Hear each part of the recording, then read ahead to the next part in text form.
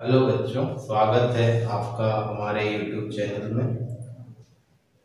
आज की क्लास में हम निरक्षीय स्थिति को समझेंगे। जैसा कि हम टॉपिक देखा था, विद्युत विद्रोह के कारण विद्युत क्षेत्र की तीव्रता, जिसको हमें दो स्थितियों में समझना होता है।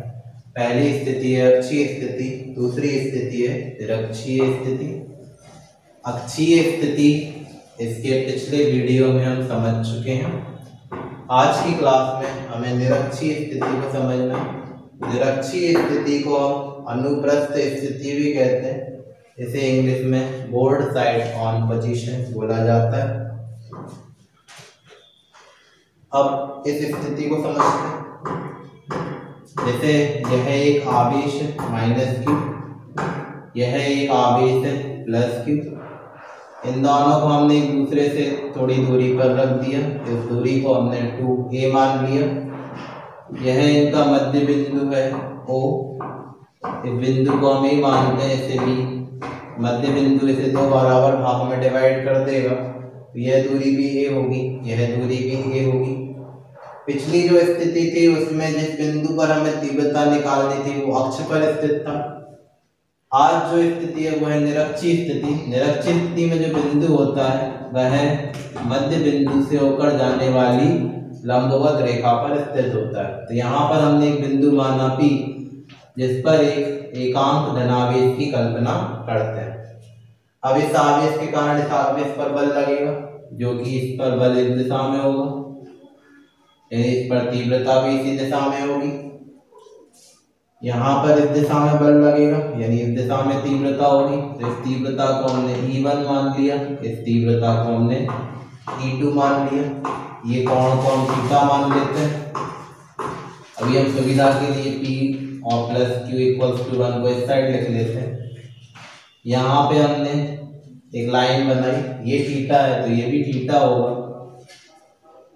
इसको थीटा लेते हैं तो ये भी थीटा होगा। ये दोनों जो एंगल है वो एक दूसरे के एकांतर कोण है। जबकि ये दोनों जो कोण है ये संगत कोण है, जो कि आपस में बराबर होते हैं। तो यहाँ पर E1 के दो घटक बनाए जा सकते हैं। इस दिशा में थीटा आ रहा है यदि ये घटक होगा E1 cos थीटा, और ये घटक होगा E1 sin थीटा। इसी तरह इस तीव्रता E2 के भी दो घटक होंगे। एक घटक इस दिशा में हो जाएगा ई टू कॉस थीटा। और एक घटक इस दिशा में होगा ई टू साइन थीटा अब यहाँ पर हम देख रहे हैं जो ऊर्ध्वाधर घटक है, वो एक दूसरे के विपरीत है। जबकि जो क्षैतिज घटक है, वो एक ही दिशा में जा रहे हैं। यानी अगर आप ऊर्ध्वाधर घटकों से तीव्रता निकालें तो वो परिणामी तीव्रता निकालें तो उसे घटाकर प्राप्त करना पड़ेगा। जबकि क्षैतिज घटकों से अगर तीव्रता निकालेंगे तो उसे जोड़कर प्राप्त करना होगा। खैर, इसके पहले हम E1 और E2 की वैल्यू निकालते हैं, उसके बाद आगे का काम करेंगे तो E1 क्या है? प्लस क्यू के कारण विद्युत क्षेत्र की तीव्रता है। तो प्लस क्यू आवेश के कारण विद्युत क्षेत्र की तीव्रता निकालते हैं। तो इसको हमने E1 माना। E1 क्या होगा? One upon four pi epsilon zero के क्यू अपॉन आर अब दूरी यहाँ से यहाँ तक है। इसे हम बीपी लिख सकते हैं। तो Q upon B P square अगर बीपी को देखें तो इस समकोण त्रिभुज में बीपी एक कर्ण है। यदि हम पाइथागोरस प्रमेय का उपयोग करेंगे तो बीपी स्क्वायर बराबर होगा OP square plus OB square तो हमने पाइथागोरस प्रमेय को लगा दिया। तो हमने बीपी स्क्वायर को लिख दिया। बी पी स्क्वायर को लिखा B O square plus O P square इसकी वैल्यू ए है, इसकी वैल्यू को हम आर मान लेते हैं। यानी ई वन को हम लिख सकते हैं one upon four pi epsilon zero के इसके प्लेस पर हमने लिखा A A square plus R square इसी तरह माइनस क्यू आवेश के कारण विद्युत क्षेत्र की तीव्रता निकालते हैं, जैसे हमने ई टू मान लेते हैं।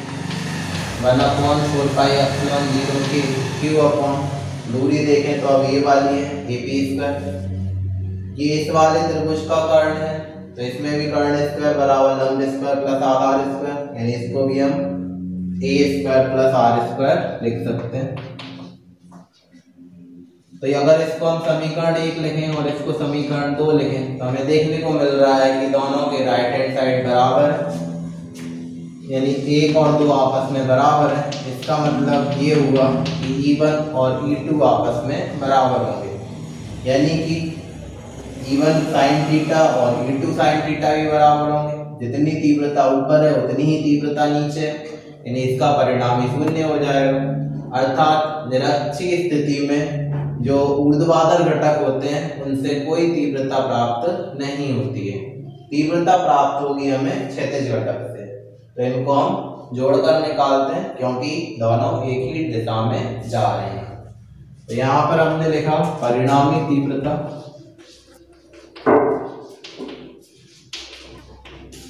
ई बराबर होगा E one cos theta plus E two cos theta E one और ई टू आपस में बराबर है। तो हमने यहाँ पर ई टू के प्लेस पर भी ई वन कर दिया। तो ये बन जाएगा two E one cos theta इसे हम एक समीकरण लिख लेते हैं, इसको हमने समीकरण तीन मान लिया।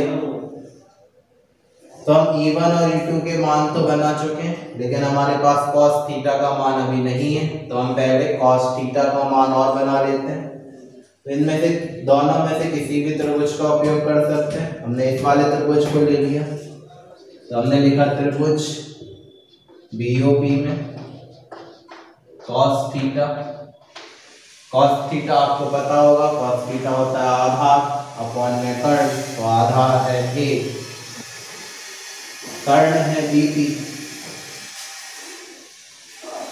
बीपी स्क्वायर का मान हमें पता है बीपी स्क्वायर का मान होता है A square plus R square तो बीपी का मान होगा root A square plus R square यानी कॉस थीटा का मान हो जाएगा A upon A square plus R square अब ई वन और कॉस थीटा ये दोनों मान हम समीकरण तीन में रख देते हैं, जिससे कि हम आगे का मान निकाल सकें।